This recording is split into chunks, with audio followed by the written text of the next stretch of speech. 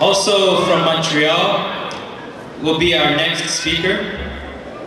His name is Haj Abu Taysir.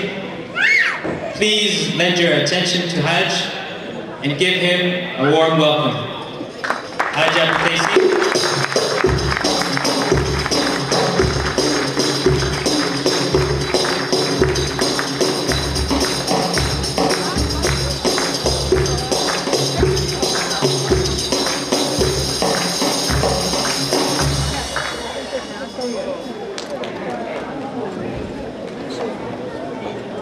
السلام عليكم ورحمة الله. أهلا وسهلا بكم في هذا الاحتفال العظيم.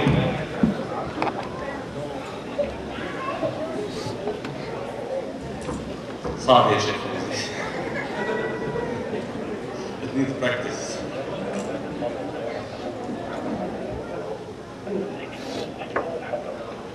الحمد لله ذي العزة ذي العزة والجلال والقدرة والكمال والإنعام والإفضال الواحد الأحد الفرد الصمد الذي لم يلد ولم يولد ولم يكن له كفوا أحد لا يشبه شيئا من خلقه ولا يشبهه شيء. ليس كمثله شيء وهو السميع البصير. والصلاة والسلام على سيد الأنبياء والمرسلين. من بعثه ربه رحمة للعالمين. هاديا ومبشرا ونذيرا. وداعيا إلى الله بإذنه وسراجا وهاجا وقمرا منيرا. بلغ الرسالة وأدى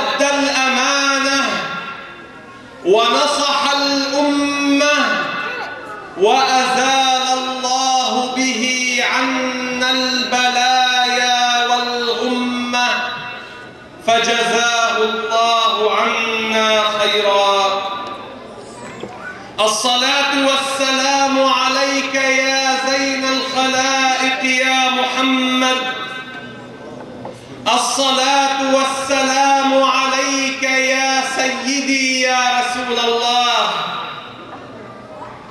إخوة الإيمان ها نحن في شهر ربيع الأول الشهر الذي شع فيه نور النبي محمد عليه الصلاة والسلام. ففي الثاني عشر من شهر ربيع الأول كان مولد خير الكائنات محمد. والاحتفالات تتوالى والخطب في مدح عليه الصلاة والسلام تكثر والأناشيد والأشعار في مدحه تعالى تعلو بها حناجر المنشدين.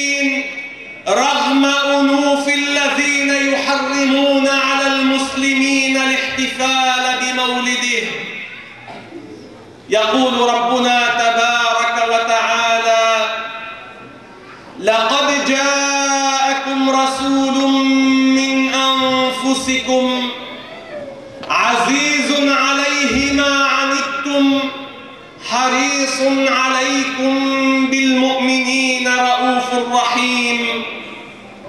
إخوة الإيمان اليوم سيد الأولين والآخرين عن الماح الذي يمحو الله به الكفر. نتكلم عن أفضل الناس وعن أكرم الناس وعن أجمل الناس. عن أول من تنشق عنه الأرض يوم القيامة. وعن أول من يفتح له أبواب الجنان.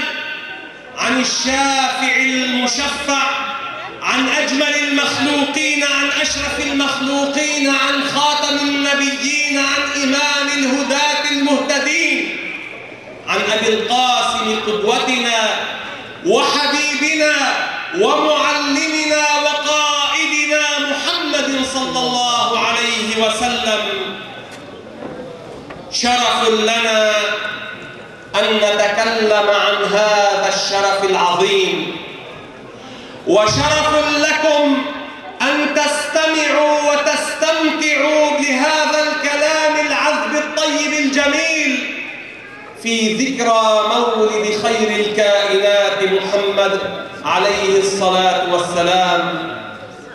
إخوة الإيمان إن احتفال المسلمين بمولد رسول الله صلى الله عليه وسلم ليس مجرد عادة إنما احتفال المسلمين بالمولد بهذه السنة المأثورة بهذه البدعة الجيدة بهذه البدعة الجيدة.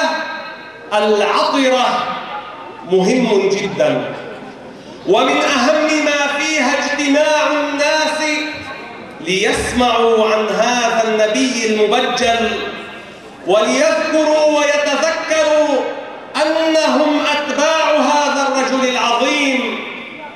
وليس تخصيص المولد بذلك أننا لا نذكره عليه الصلاة والسلام إلا في ربيع الأول. لا وكلا. بل سيدنا محمد حبه في أعماق قلوبنا نذكره في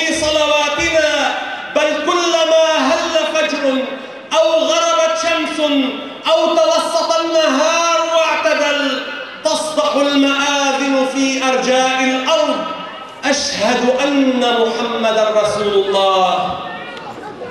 اسم يملأ الآفاق ويتسلسل من همسات وأفواه المؤذنين ومن أفواه المصلين ومن أفواه العاكفين العابدين في ظلم الليالي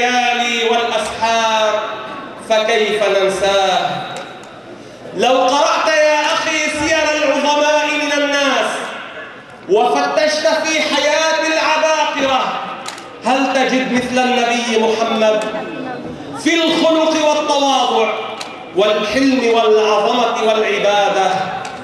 هذا الذي هو أعلى الناس مرتبة. هو عليه الصلاة والسلام يخصف نعله ويخيط ثوبه ويحنو على المساكين وينصر المظلومين. يعود المرضى يشيع الجنائز ويمسح على رأس اليتيم يقري الضيف يطعم الجائع يرحم حتى الحيوان ويقول عليه الصلاة والسلام من لا يرحم لا يرحم فأي رجل هذا النبي الذي نحبه؟ وأي معشوق هذا الذي حبه؟ فرض فرضه الله علينا. ماذا نذكر من صفاتك يا رسول الله؟ وكلك جميل يا حبيب الله. نحبك نعم نحبك. بل يحبك الكبير والصغير والرجل والمرأة منا. بل يحبك أهل السماء وهم الملائكة. ويحبك الصالحون من أهل بل حبك نهج نتبعه وطريق نسلكه ومبدأ نتمسك به إلى الممات إن شاء الله. ومن معاني هذا الحب اتباعك يا حبيب الله. اتباعك في وقت شذ فيه الكثيرون عن نهجك.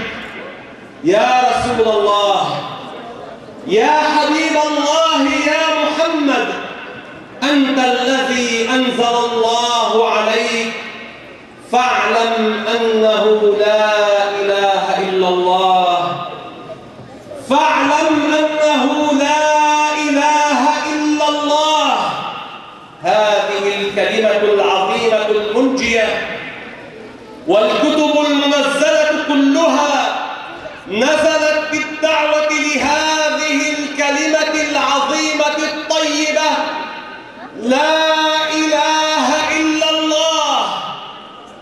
الرسل كلهم من لدن آدم إلى محمد جاءوا بها لا إله إلا الله. ومنك تعلمنا معانيها يا حبيب الله. ومن معانيها الاعتقاد أن الله تعالى كان قبل كل شيء قبل الزمان وقبل المكان. وبعد أن خلق الزمان وبعد أن خلق المكان لا يحتاج لشيء من خلقه. خلق العرش إظهارا لقدرته ولم يتخذه مكانا لذاته. واحد لا شريك له ولا شيء مثله ولا شيء يعجزه ولا إله غيره. قديم بلا ابتداء دائم بلا انتهاء لا يفنى ولا يبيد ولا يكون إلا ما يريد. لا تبلغه الأوهام ولا تدركه الأفهام ولا يشبه الأنام.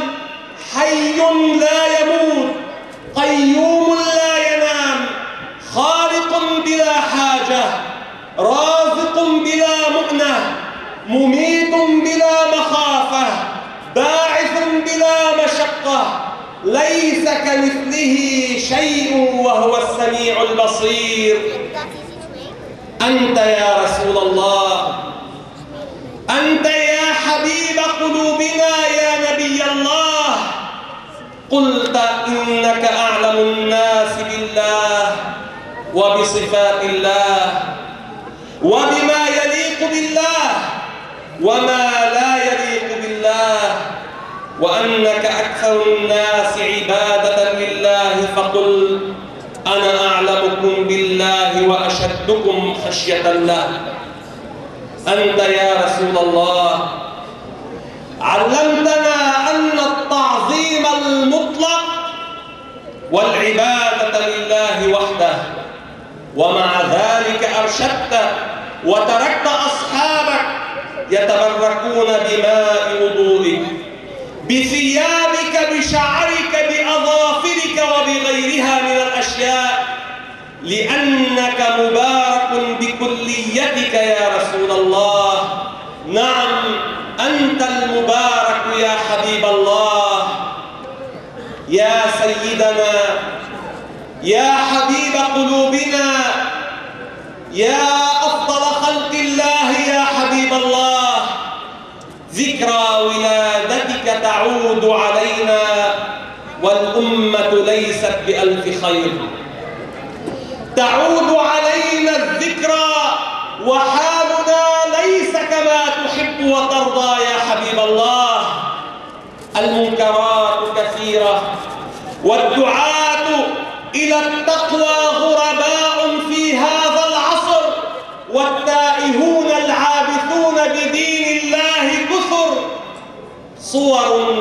متعددة في الدنيا من الظلم والقتل بغير حق والاعتداء والابتعاد عن الفضيلة التي أمرت بها يا حبيب الله.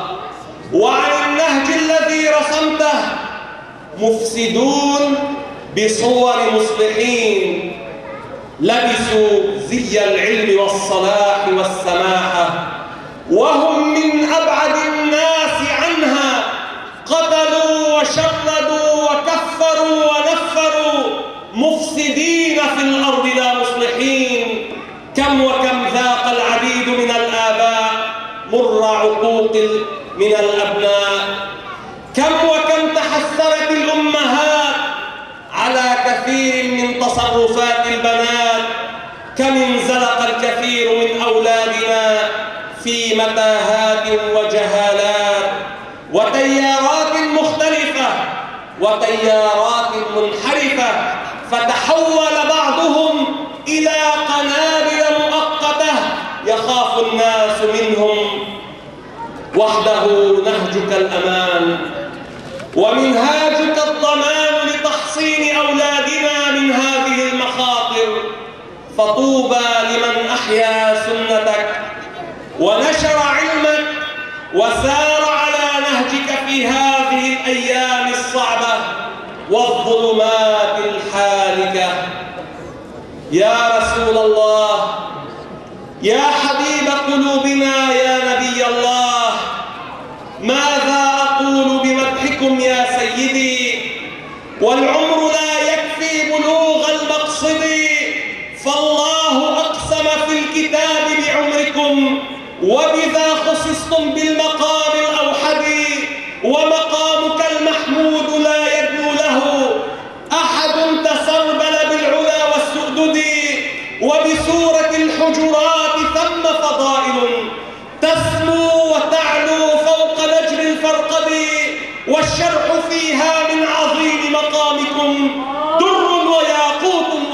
زبرجد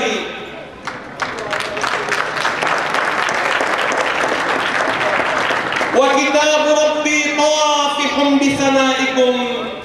اقرأ أخي النجم تفهم مقصدي. وبراءة ختمت برأفة أحمد. وبرحمة للمؤمنين السجد والفتح فيها من عناية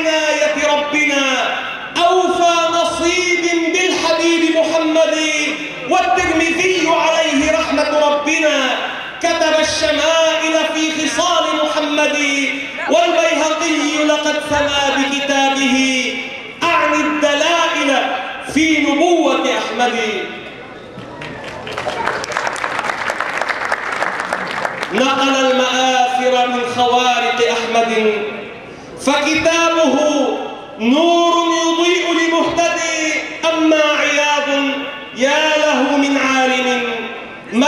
الشفاء بعلمه المتوقد وتراه يدفع عن جناب نبينا شبه المضل